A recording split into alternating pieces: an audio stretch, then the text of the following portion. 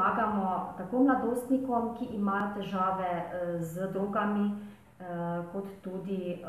njihovim svojcem, to pomeni staršem in drugim pomembnim odraslim, in tudi zasvojenim osebam.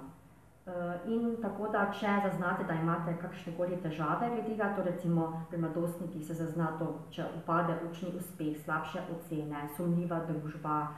da je mogoče ima kakšne psihične težave ali, anksioznost, ali je to, težave z družbo, kjerkoli pač mladi imajo občutek, da,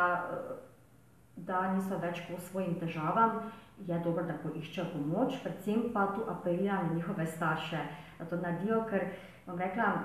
za strani mladih je to zelo težko pričakovati, da bodo sami poiskali pomoč.